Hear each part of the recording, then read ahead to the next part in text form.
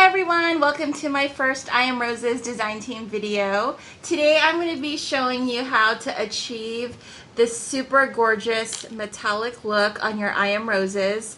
So as you can see, it's super shiny, super metallic, and it's super gorgeous. It looks really great in person. And I'll be going over the supplies that we'll be using to achieve this look. Um, I'll be using the Folk Art Metallic Paint, and this is such a great paint. It's such a value. It's a dollar something, and you can get it wherever they sell folk art paint. I get it at Michael's or at Walmart, and I'll be using um, metallic sequin black today and metallic aquamarine. I love this color. And then also metallic bright red. And this is a very pink red. And so um, with these paints, um, you can tell that it's metallic because the um, the label is shiny and it's it says metallic in front of the color. So I'll also be using four different I Am Roses um, styles and I will always put the name of the flowers and the code number down below in the description box. So um, I'll always do that on every video. And so I'll be using these gorgeous rosebuds. I love these. Um, these are one of my favorites. They're all my favorites, but this is the top of my favorites. I love all of them. Um, and then I'll be using these um, little rosebuds too. Um, and these are cute because it has a heart-shaped petal. Um, I'll also be using these gorgeous gardenias. And then I'll also be using one of my favorites, um, these roses here. These are 1.5 inches. Um, again, um, all the names, official names and codes will be down below. Um, and I love these flowers. I like to get the white and ivory ones um, so you can customize them. So I'll be coloring these different colors, so I'll be back to color the first one. So right now I'll be showing you how to mix the paint up. I'm only going to be coloring one flower with the aquamarine color, so I'm going to only mix a small amount. So um, I do like to um, dilute the paint with water because it's very thick. So I take my paint and I make sure it's all good and shook up just so all the different pigments in it mix around. Um, I have a mini mister um, filled halfway with water and it's just halfway and I don't have the top on it. So I'll take my paint and I'll just put just literally probably just a drop So that was about three drops. Um, and then what I'll do is I'll put my finger on top and then I'm going to shake it up.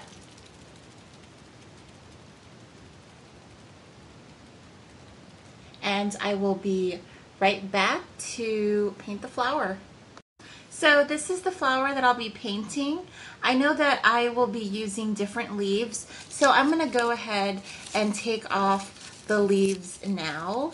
Um, sometimes I like to leave the leaves, sometimes I don't. Um, for this particular project, um, I will not be needing the leaves. So I'm just going to cut them off. And then I like to leave the stem, so um, sometimes I use it, sometimes I don't, but um, it's good to leave that on while you're painting so you have something to hang on to. I also know that I'll be using a different center. So I'm going to um, cut the little um, stamen off. I'm gonna I'm just gonna cut the tops of them because I'm gonna put something different in the middle. I like to experiment with like different centers.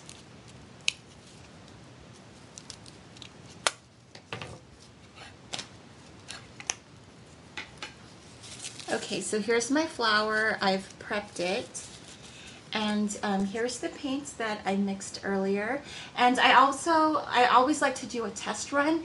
It was a little bit light for me, so I did add another drop. So it's good to start off small um, with the paint and then work your way up um, for your desired um, darkness of the color. So I'm going to take my craft mat to protect my work surface and then I my flower's been prepped. I took out the leaves because I won't be needing them for this project and little stamens. So I'm going to go ahead and paint. Um, I'm going to start, I just kind of keep going until I cover the whole thing. Um, so here's my paint, so I'll just start painting and you'll see how pretty um, this color is, um, this metallic paint.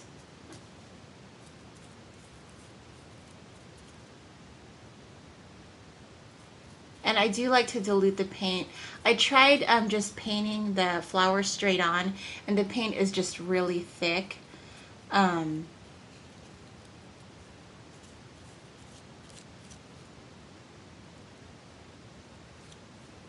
and this is a really pretty color. So I'm going to keep going. I'm going to keep painting this flower and I will um, heat set it and I will be right back. I just wanted you to see what the dried flower looks like. And keep in mind, you don't need to oversaturate your flower with the water. Just just put enough because since this is mulberry paper, it'll it'll take the um, medium pretty well. So here's what it looks like and it looks gorgeous. It's super shiny and because this is metallic paint, there's a lot of mica and it's just so gorgeous. So just to compare, this is what the raw flower looks like without the paint. And here it is with the paint and water mixture. It's so gorgeous. And you can see, as you can see, the flower retains its shape. Um, I like to dry like upside down with my heat gun and then just, you know, push the petals down. But um, it does retain its shape and it looks super gorgeous and it's super shiny and it's just, it's amazing and I love this color. So I'll go ahead and paint the other flowers. I'm ready to embellish my project. So I got this wooden box from Michaels and it started off as plain wood and Bona had used this, hey Bona, on a project and it's a dresser and it has a little mirror there and I covered it all with this fabulous crepe paper portrait collection that Sharon, SM Scrapper, shared with me. Hey Sharon! So I just fell in love with the color combo and so I painted the box black and I covered it up and it was really fun to even cover up the inside and I added some trim that I got from fellow design team member Carla. Hey Carla, who's Carla's 001. And I even finished the inside. So it was super fun. So I'm ready to put some flowers on top of here with my glue gun. So I also decided to use some black skeleton leaves, um, which are from I Am Roses as well. I'll put all the descriptions and code numbers below. So um, here are all the painted flowers, and this is the separate bud that I painted.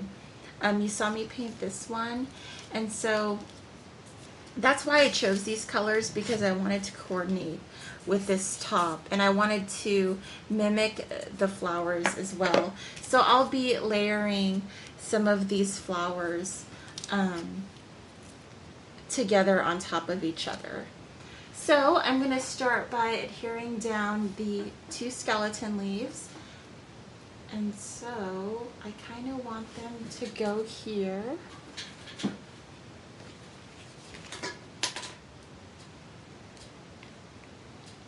And you don't need much because this um, the skeleton leaves are super thin.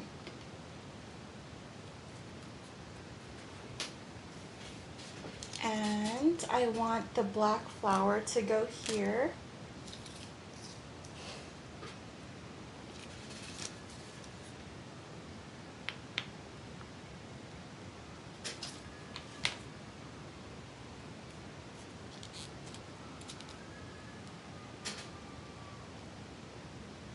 And I've cut all the stems off because I don't need them for this particular project.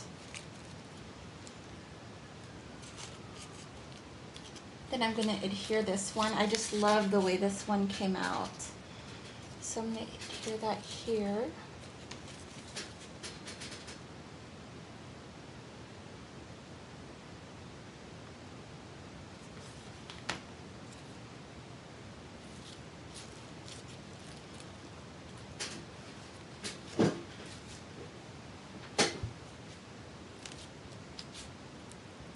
I'm just waiting for the glue just to set up.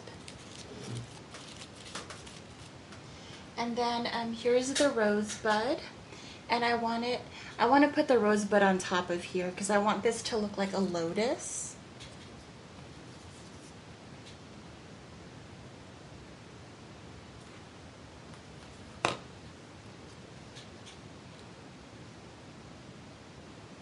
I'm just going to hold it there until I know the glue is set up.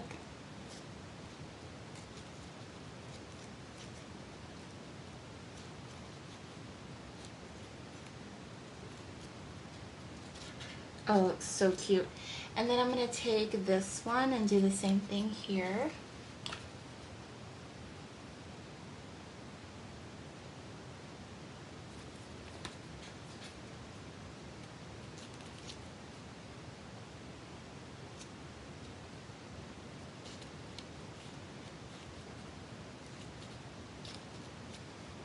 And I'm going to take these little pink ones and then put them, like tuck them in here and there.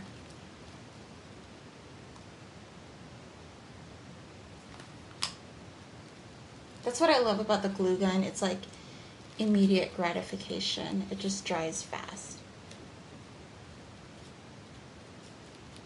And I'm noticing I missed a little spot there, which I'll have to do some touch-ups later. And then I'm gonna do this back here. I'm just gonna tuck it in.